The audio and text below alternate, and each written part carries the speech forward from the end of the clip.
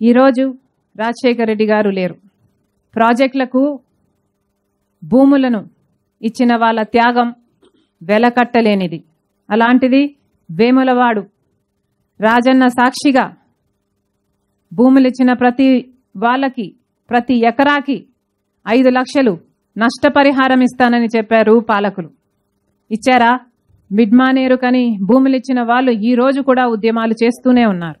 నేరెళ్ళ ఘటన ప్రశ్నించినందుకు దళితులపై third degree ప్రయోగించారు. న్యాయమేనా? ఎంత దుర్మార్గం. ప్రజలను కాపాడాల్సిన బాధ్యత ప్రభుత్వానికి పోలీసులకు ఉంది. వారికి దళితులపై ఏ పాటి ప్రేమ ఉందో అర్థం అవుతూనే ఉంది. మొన్నటికి మొన్న పెద్దపల్లిలో హైకోర్టు న్యాయవాదులు భార్యాభర్తలను భర్తలను ఇద్దరిని నడి రోడ్డు మీద హత్య చేశారు. ఎంత దుర్మార్గం. దాంట్లో మళ్ళీ అధికార పార్టీ నేతల హస్తం ఉంది. ఇంకెంత ఘోరం.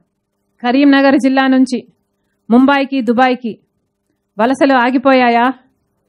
గల్ఫ్ కార్మికులకు బోర్డు అన్నారు. ఏమైంది? సిరిసిల్ల నేతల ఆత్మహత్యలు ఆగిపోయాయా? బీడీ కార్మికుల పరిస్థితి ఏమిటి? సింగరేణి కార్మికుల కష్టాలు తీరాయా? లక్షకు పైగా ఉన్న కార్మికులు ఈరోజు నలభై వేల మందికి కంటే లేరు అని విన్నాం.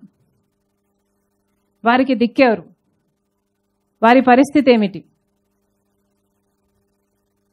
ఇలా ఎన్నో సమస్యలు. నా సంకల్పం ఒక్కటే. రాజన్న సంక్షేమ పాలన మళ్ళీ తీసుకురావాలి.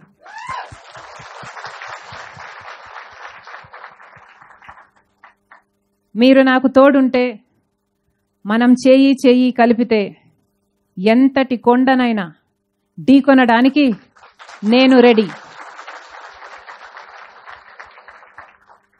ఒక్క మాట పిలవగానే ఈ ఆత్మీయ సమ్మేళనకు వచ్చిన ప్రతి అక్కకు ప్రతి చెల్లికి ప్రతి అన్నకు ప్రతి తమ్ముడికి మీ రాజన్న బిడ్డ మనస్ఫూర్తిగా స్వాగతం పలుకుతోంది.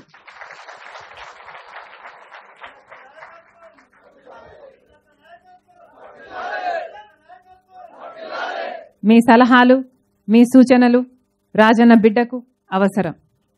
సుస్వాగతం.